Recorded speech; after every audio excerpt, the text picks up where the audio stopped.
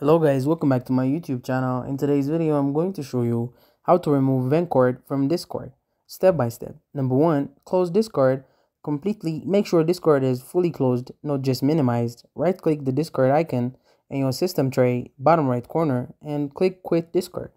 Number two, run the Vencord installer again. Find the original Vencord installer you used to install it.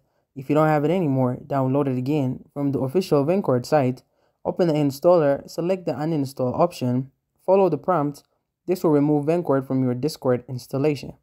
Number 3. Delete leftover files. Optional but recommended. Open your File Explorer, type app data in the address bar and press enter. Find the Vencord folder and delete it. Path example C, user, then your name, then app data, roaming, then Vencord. 4. Reinstall Discord. It's optional but it helps if something is broken. If Discord doesn't work properly, afterwards, download the latest official version from discord.com, uninstall the current Discord if needed, install the new clean version, and it's done. You have now removed Vencord and have the official Discord back. Thank you guys for watching this video. If this video was helpful, don't forget to like and subscribe to my YouTube channel.